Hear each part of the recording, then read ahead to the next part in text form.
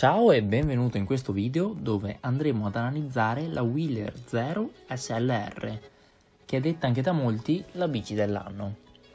Il suo segno distintivo è la leggerezza.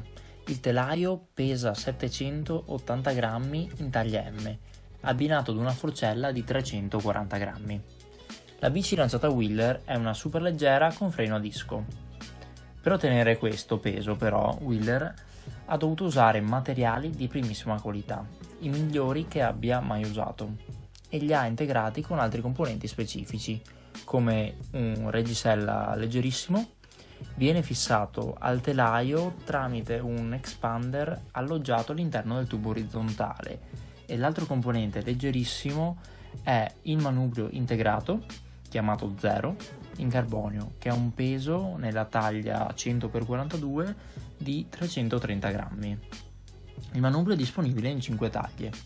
All'interno del manubrio tutti i cavi sono integrati, proprio come anche il telaio.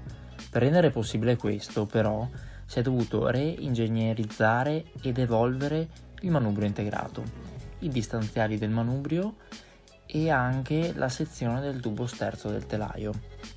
Abbiamo detto che questo manubrio ha tutti i cavi integrati come il telaio. Il telaio non c'è neanche un filo che è a vista.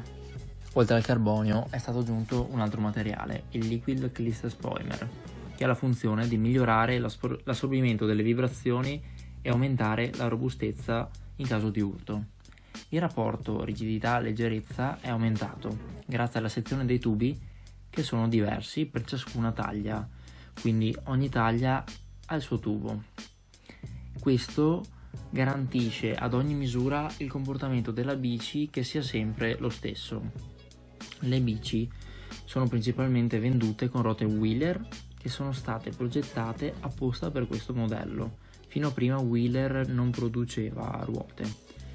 Ci sono anche altri marchi di ruote in base al tipo di configurazione che si sceglie. Vengono consegnate con delle selle Italia SRL Boost Carbon Kit. La Wheeler Zero SLR è disponibile in quattro colorazioni: blu, rosso, nero e la colorazione Team Astana. Questo modello lo possiamo trovare solo con un gruppo elettronico e solo con freni a disco.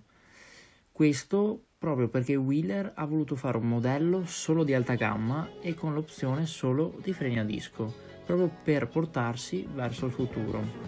Il suo prezzo parte dai 7.700 euro equipaggiata con un Ultegra D2 o un SRAM Force. Sopra si alzano solo i prezzi.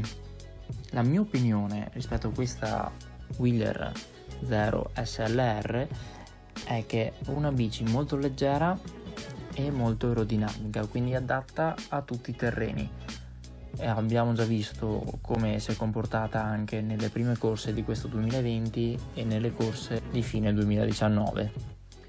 Spero che questo video ti sia piaciuto e spero che queste informazioni ti siano state utili. Se questa è la bici che vorrei acquistare, condividi questo video e fallo vedere anche ai tuoi amici e ti aspetto al prossimo. Ciao!